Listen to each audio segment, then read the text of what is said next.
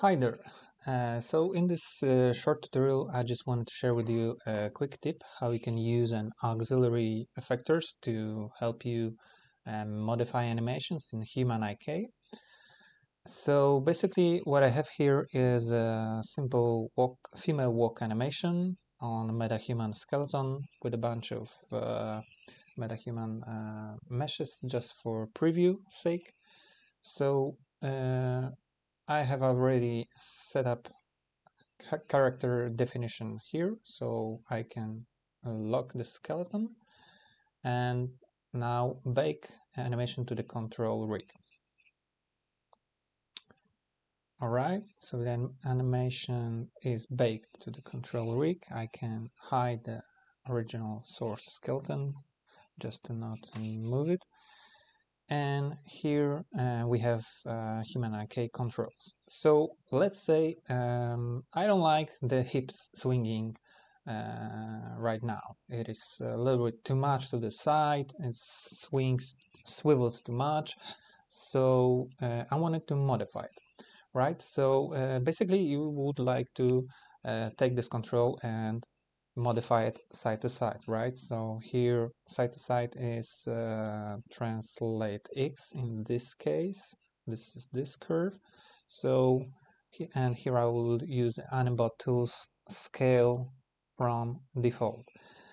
And but you can use uh, also Maya um, default tools um, to scale those curves uh, here. So and I want to like tone down this curve but when I try to do that the whole body moves uh, together with hips and I don't want to uh, to do this to happen. So I want to modify only the hips also the um, the swivel uh, which is the rotation y uh, y in this case uh, if I check this channel uh, you need to like modify this curve turn it down and also in this case when I modify it uh, the whole body moves.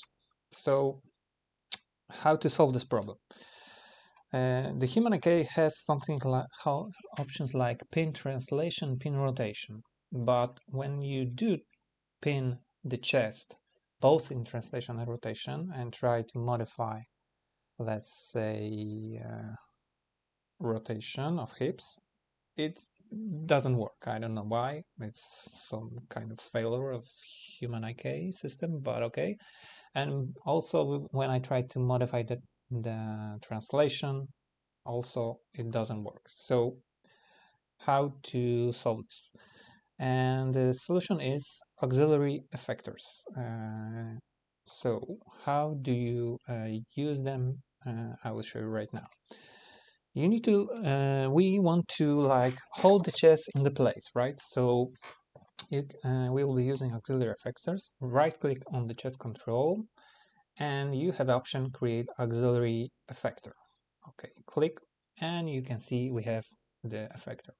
It is basically IK tar target for the chest to um, to follow but as you can see uh, it doesn't follow exactly the animation and it, it breaks the animation slightly. And we don't want to happen it uh, this way. So uh, the trick is to pass the animation data to auxiliary effector. And you can do that by simply copying animation from original chest uh, control and we will do this uh, in two parts. First, copy the translation, later rotations.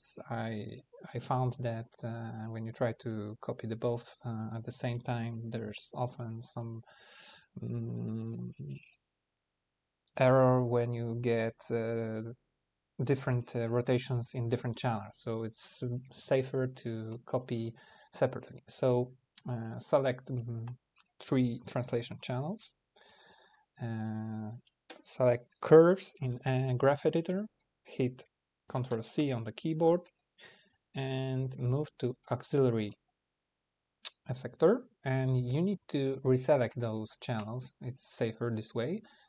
Click in graph editor and Ctrl V paste. All right, so we have translations.